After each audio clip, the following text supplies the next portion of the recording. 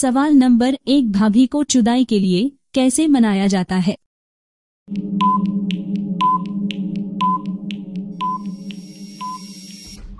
इसका सही आंसर है रोमांटिक बातों से और उनकी तारीफ़ करने से।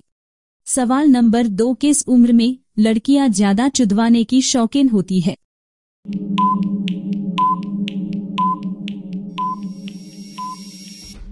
इसका सही आंसर है 20 से 25 उम्र वाली लड़कियाँ।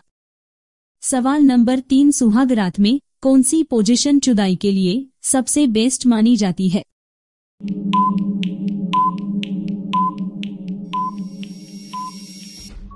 इसका सही आंसर है सुहाग रात के लिए मिशनरी और डोगी पोजीशन सबसे बेस्ट है। सवाल नंबर चार सुहाग रात में नई बीवी को कितनी बार चोदना चाहिए?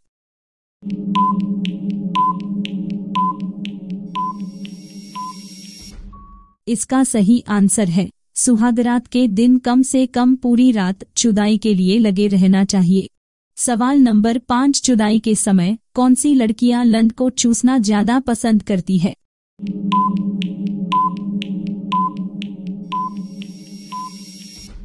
इसका सही आंसर है, जिन लड़कियों को चुदाई का अनुभव ज़्यादा होता है। दोस्तों, रोज़ाना ऐसे ही वीडियोस को देखने के लिए हमारे चैनल को सब्सक्राइब करें।